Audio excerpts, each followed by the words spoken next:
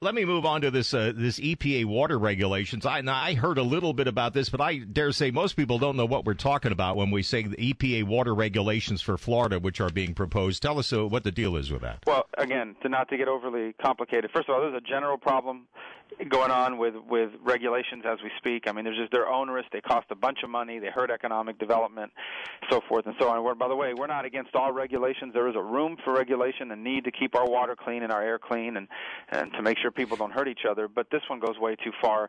And the problem with it is number one, the science behind it is not good.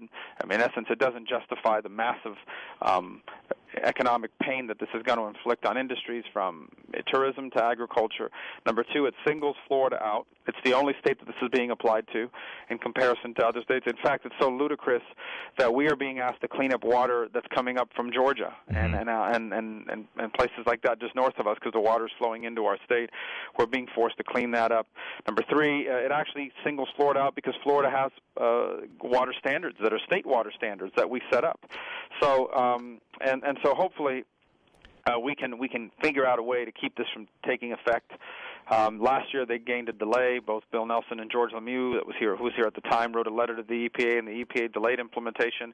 But that time has expired, and now they're looking to implement it, and it would be disastrous for Florida's economy.